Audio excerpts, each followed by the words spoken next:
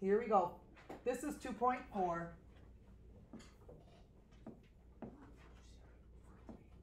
Max, do you have a question? No, she said my name, I'm asking her. Is it recording? Hello. I don't know what to say. I'll think of something, don't worry. Okay, You here we go, it. here we go. When your hand comes up, I'll call on you. Make it appropriate, I don't wanna start all over again, please. So, okay. So, we study derivatives for the rest of the year in this class. And this is the most important day, so I thought this would be good to, before I teach two point four on Monday, to add a new section, which is an extra two point four. And basically, you guys, you guys know how to find the area of a rectangle, don't you?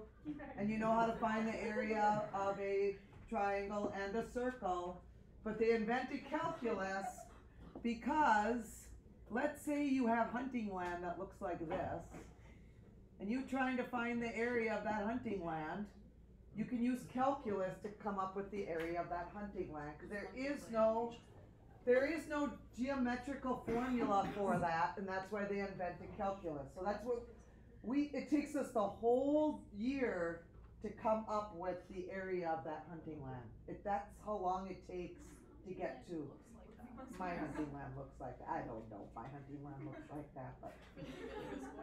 There's a river in the hunting land. Is that the Where divide? Order Yeah. on the river, yeah. Okay, so here we go. The first derivative. You're gonna learn the second derivative, the third derivative, the fourth derivative, even the fiftieth derivative. At one question on the AP test, I'll ask you to find the fiftieth derivative. So anyway, the first derivative is f prime of x. That little dash stands for derivative. If you don't see the dash, it's just f of x in math, just like you've always learned it, right? But if you see a little dash, it means first derivative. If you see two dashes, it means second derivative. If you see three dashes later on in this book, it'll mean third derivative. So the fiftieth one is. It just says F fifty X. It's not gonna sit there and give you fifty slash. Why doesn't it do like F one? Okay, what does the first derivative stand for in math?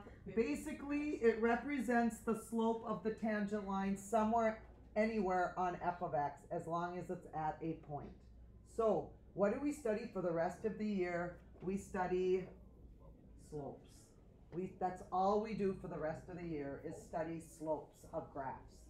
And that's what a derivative is, you guys. It's the slope of the tangent line is called the derivative. Instead of saying constantly, let's find the slope of the tangent line, and I say it again, let's find the slope of the tangent line. Instead of saying that huge sentence, I just say, let's find the derivative instead. So they call it the derivative. So, you need to derive to survive in here. Oh. Ooh. Okay, I guess I'll die.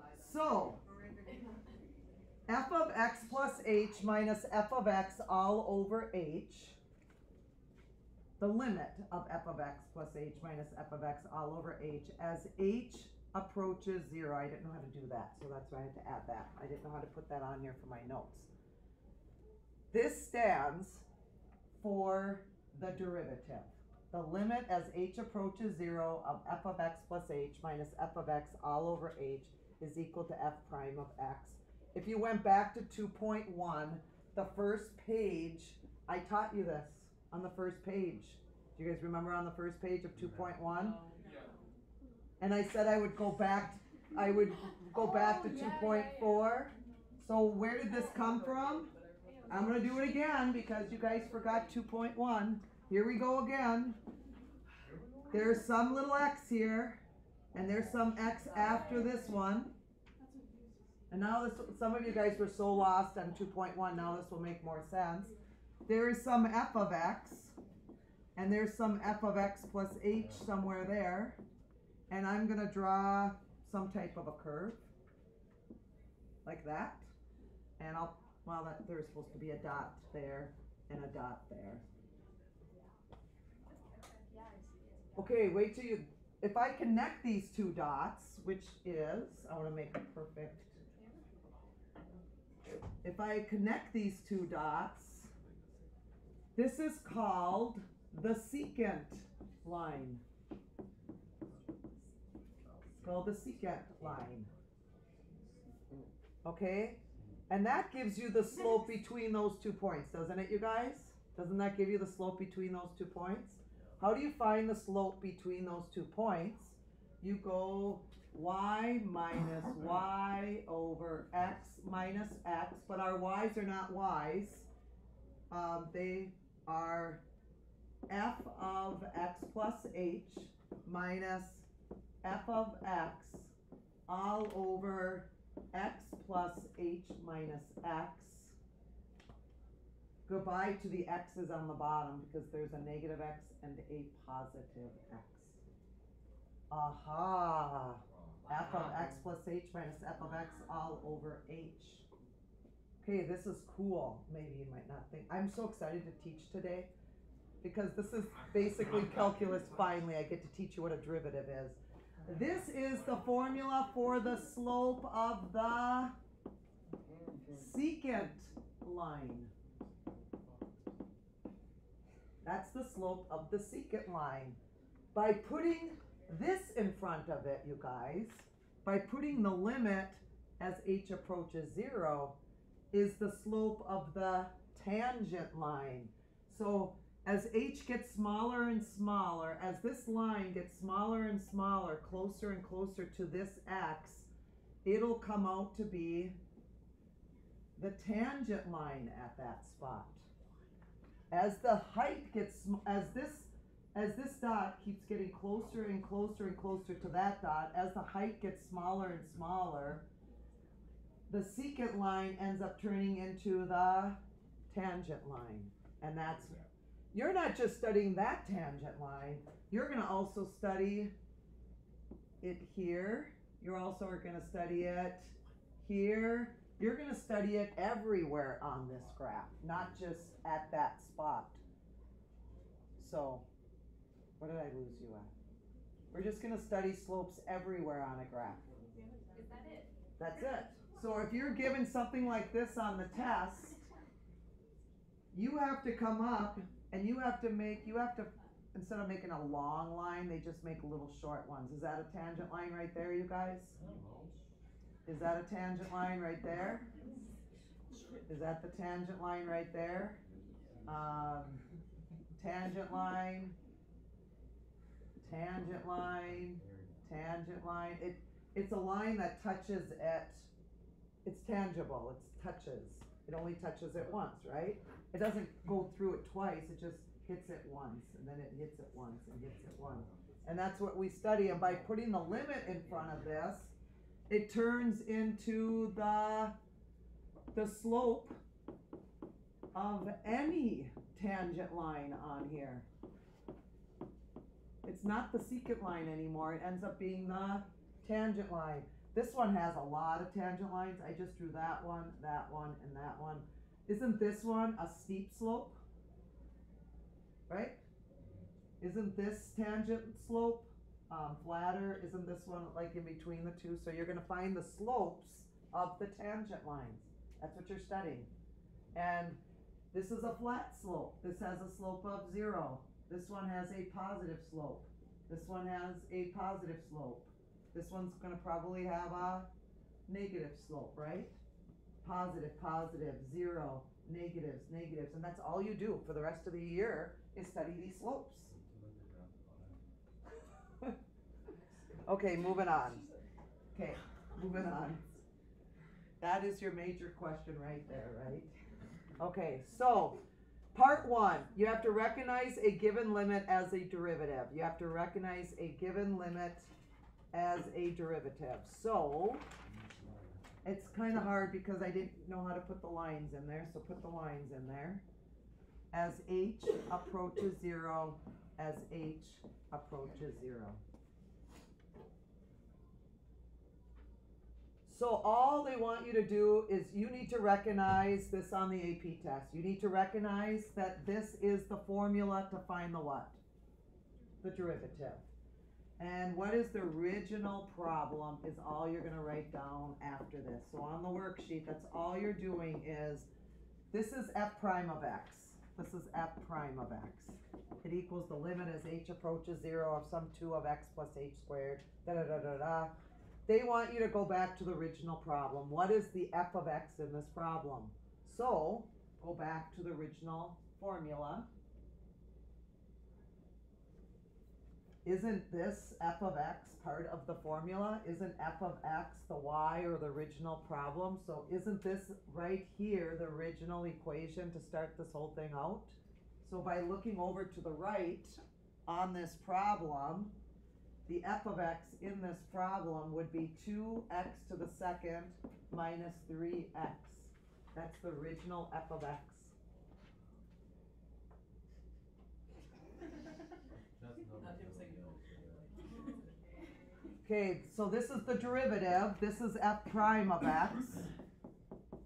And they want you to go backwards, they want you to find the original f of x, cause this is f prime of x, what's f of x? Well, the formula is f of x plus h minus f of x all over h, so f of x in this problem must be cosecant of x. And that's all you're doing on the worksheet for the first six problems. For the first six problems. Worksheet, I got only thing on Where's the numbers? Yeah, there's no I numbers. need numbers. I got that. Need numbers. Yeah, I don't understand. Okay, are we good with part one? Yeah. Okay, part two is the opposite way. The opposite way is they're gonna give it to you in this form, and you have to put it into this form. Got it? Okay, so here we go. Express the derivative of each function as a limit. So you're, you- I'm gonna write it up here. It's the limit of f of x plus h minus f of x all over h as h approaches zero. That's what we're trying to end up with. So here we go. Limit as h approaches zero. You're gonna put not f of x in place of all the x's, you're gonna put what in place of all the x's? What are you gonna put in place of all the x's? x plus h, right? In place of all the x's, you're gonna put x plus h, right? So you're gonna put a five, you're gonna put a parentheses, and in place of x, what are you gonna put in place of x? x plus h minus, what's f of x in this problem? Five x all over h. Final answer.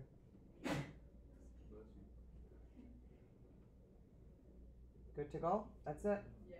Okay, let's do the next one. The limit, I understood that. as h approaches zero, you're gonna put a three down, but in place of all the x's in the first one, it's not x anymore. What's the x stand for? x plus h, so you're gonna put a three, then what are you gonna put down? X plus h raised to the second, plus two parentheses. What are you gonna put in place of x again? x plus h minus one. So that's just the f of x plus h, then what are you gonna put? Minus. Minus, and I would put that part in parentheses because it all, the f, what does the f of x stand for in this problem? Three x squared plus two x minus one all over h, final back.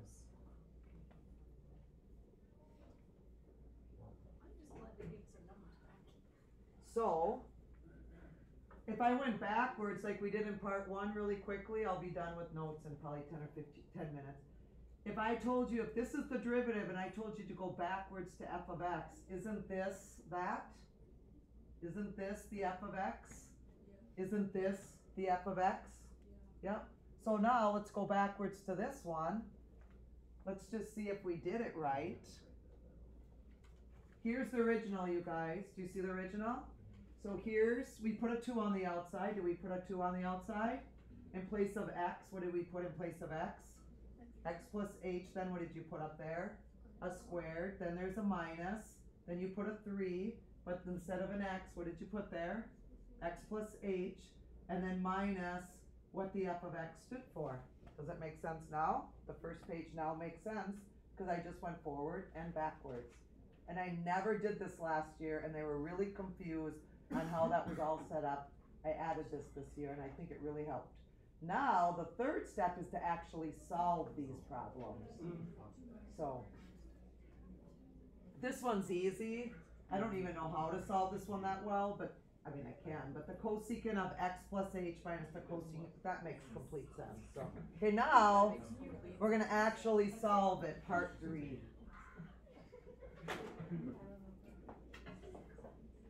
How many do we have of those? Just one? Okay, just one. I have just one. Yep, I just have one. You guys ready? Now we're gonna actually find the derivative. We're gonna find the derivative. Ready to find the derivative? Okay, so here we go. I'm gonna put a little slash there which stands for derivative. And then I'm going to, I've never done this before, so, cause I'm new, I've never done this before, so I'm gonna write this out.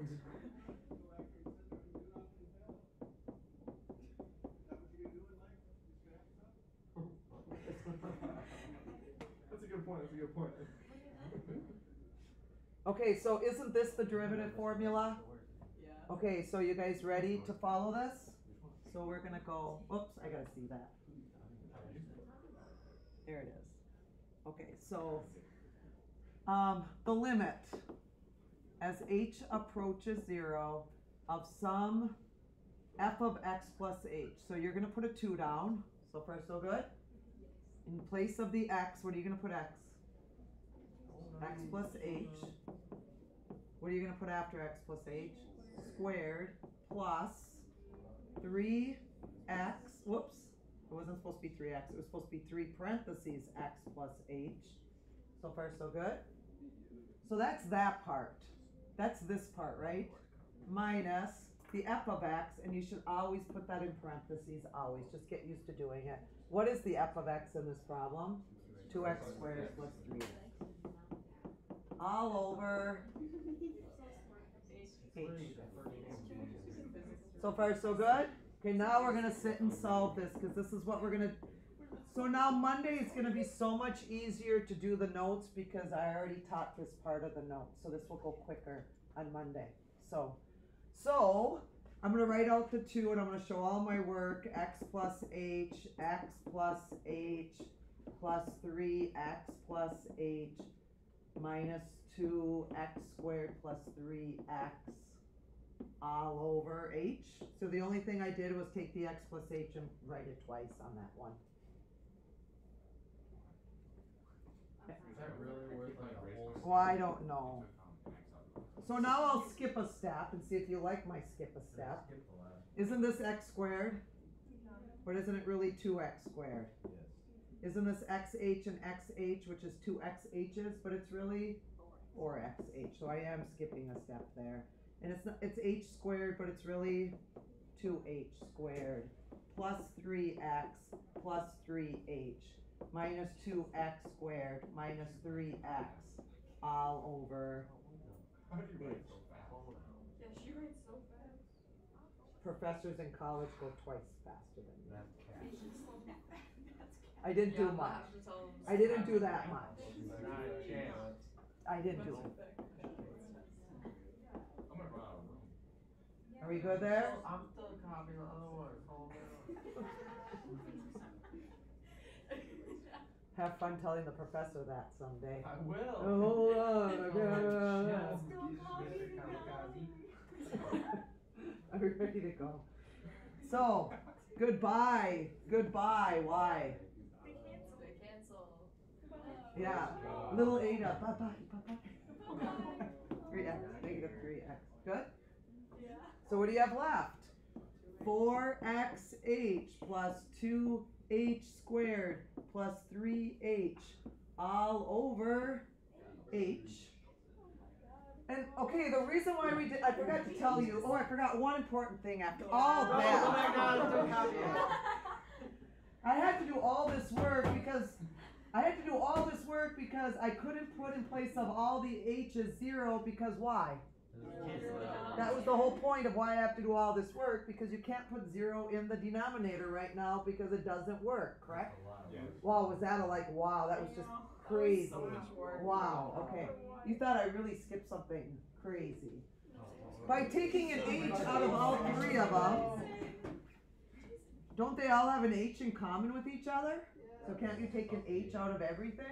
So you're left with four X plus two H plus three.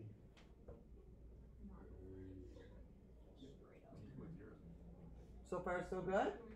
Now we can finally plug the zero in by finding the limit as h approaches zero because we no longer have it in the denominator. That's the whole point of this. And you're gonna be left with, No. Four X plus three. This is called f prime of x.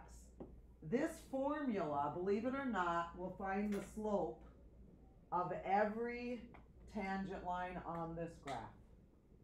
The slope of every tangent line on this graph. So, did you guys have Miss App for physics? Anybody have Miss App for physics? Yeah. Okay. I don't know. Physics, I don't remember so this much well. more. So really quickly, Miss App taught you that if f of x equals three x squared, Yeah. to find the derivative, She did not do you multiply math. those two, Yeah. So it was like D. six x. Is that what you learned? Yeah. Okay, so let's go back to this one. Maybe it was AJ that she just neglected last year. No, This we jump teach, where, but this Miss app Green just taught taught us us this week was so much. So. Justin, are you ready? What's the derivative of two x squared?